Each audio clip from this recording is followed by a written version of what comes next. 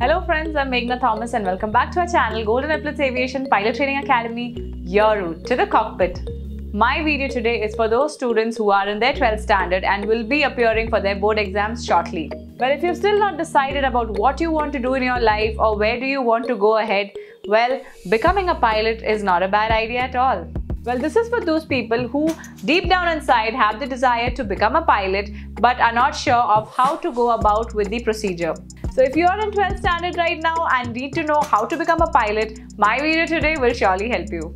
Well, IGRUA, which is a short form of Indira Gandhi Rashtriya Academy, has a very stringent procedure for the selection of their candidates.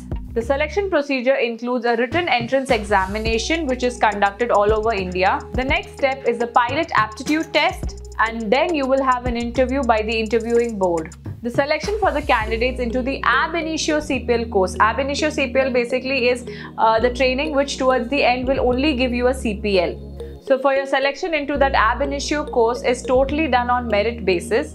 That is your merit which will be compiled after your written test, your uh, pilot aptitude test and the interview. There is a portion of seats that is also reserved for the uh, SC, ST, OBC category and this is as per the Government of India guidelines. Let me tell you about the written examination.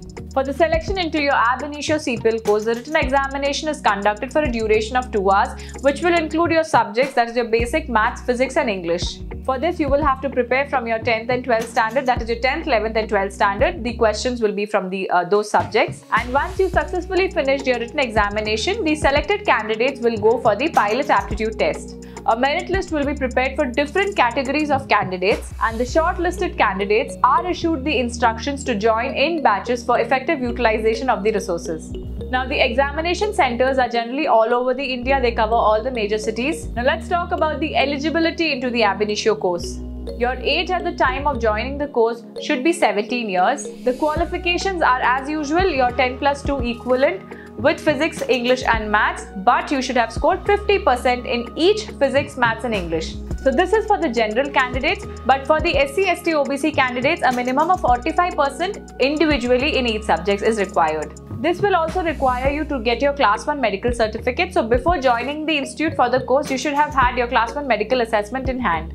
IGRUA also provides BSc in aviation and this degree is provided by the Ram Manohar Lal Awadh University in Ayodhya. This degree is conducted simultaneously with your CPL course and the duration of this course will be 3 years. Now how will you get to know about the admission into IGRUA? Well the advertisement for the admissions into the ab initio course is usually given out in the employment newspapers or your leading daily newspapers. Some state governments provide scholarship to reserve category candidates of their states. Now IGRUA only forwards the application to the respective state government. So if you need a scholarship, you may approach your state government for the same. Because Indira Gandhi Rashtriya Udan Academy is one of the leading pilot training institutes in our country, after your 12th standard, giving it a try would be a good idea.